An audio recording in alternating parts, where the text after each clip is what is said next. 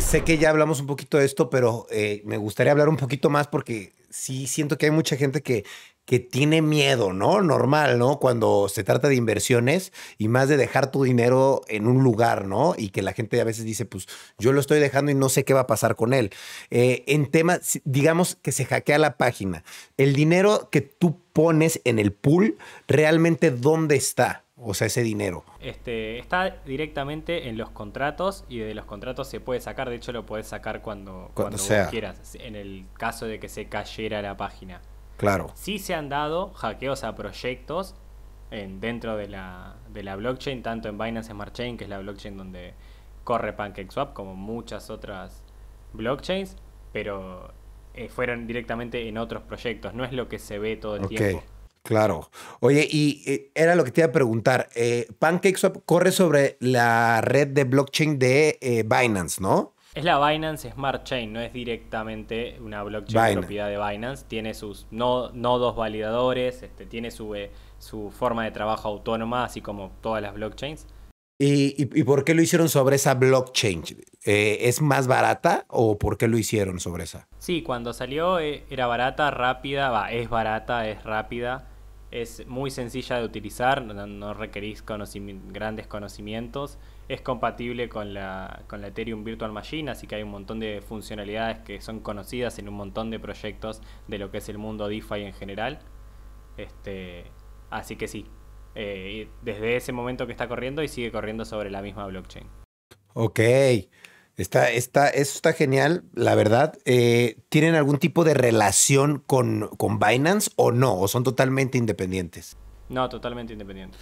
¿Y tienen algún proyecto como de ustedes acá hacer su propia blockchain o no? No, no, no. No, Este, no, no es algo ni que se haya hablado al menos. Ok. Eh, siendo el mundo cripto como es, o sea, si, si, mañana pasase algo así, capaz no sorprendería a nadie, pero tener una blockchain no tiene sentido para una blockchain de un proyecto solo. O sea, en el ecosistema de cada blockchain corren miles y miles de proyectos. Bueno, igual, lo pregunto porque veo que cada vez más proyectos se están sumando a ustedes y veo que muchos son de videojuegos. Dije, tal vez van a ser su blockchain. ¿A, qué se debe a que están apoyando tanto a este tipo de proyectos? Creo que es el boom, o al menos es lo que se está viendo ahora, todo el tema de los NFT y los juegos dentro de la blockchain es como que fue el furor y está haciendo el furor, está explotando por todos lados.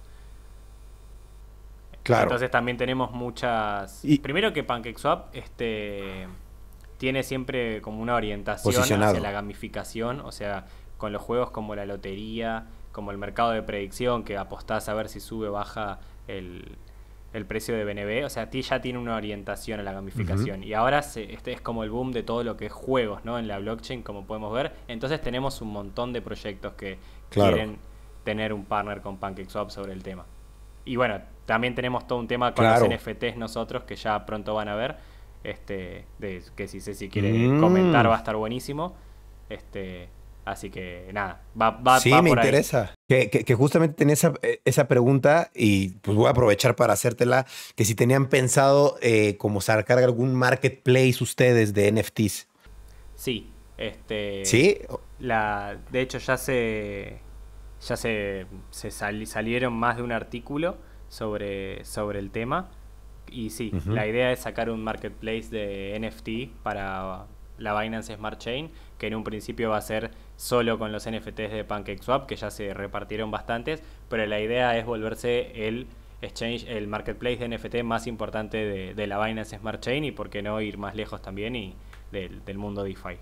Ok, eso está genial.